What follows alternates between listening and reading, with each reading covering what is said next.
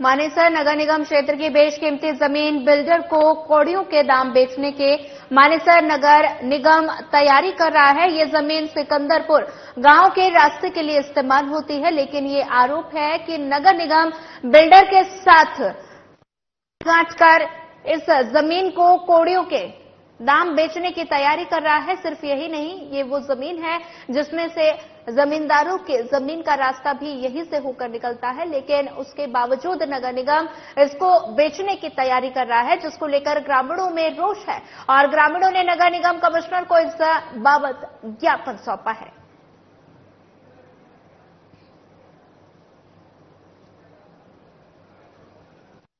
देखिए 2016 से ग्राम पंचायत सिकंदरपुर इन रास्तों की लड़ाई लड़ रही थी। वाटिका बिल्डर द्वारा उन रास्तों पर अवैध कब्जा कर लिया गया था।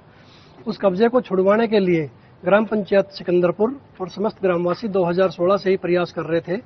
उसमें डायरेक्टर ऑफ़ पंचायत के भी आदेश हो गए थे, माननीय उच्च न्यायालय के भी आदेश पंचायत के फेवर में आ गए थे। अब चूँकि पंचायतों का सिस्टम वहाँ समाप्त हो गया है तो यहाँ नगर निगम लोकल बॉडी के कोई चुनाव हुए नहीं है तो वो आधिकारिक रूप से अगर पावर की बात करें तो नगर निगम को है। जैसे कि हमें सूचना मिली कि नगर निगम इन रास्तों को सेल कर रहा है। ग्रामवासियों की शुरू से अपील थी कि उस ज़मीन के बदले में लगभग 2.04 एकड़ ज़मीन बिल्डर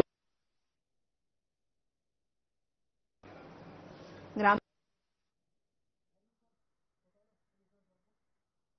जहाँ पर ग्रामीणों ने कमिश्नर को ज्ञापन सौंपा।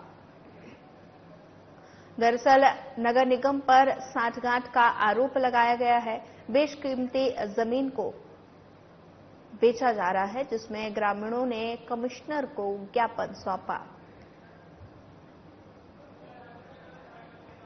ये मामला गुरुग्राम का है, जहाँ बेश की कीमती ज़मीन बिल्डर्स को बेची जा रही है और ग्रामीणों ने कमिश्नर को ज्ञापन सौंपा।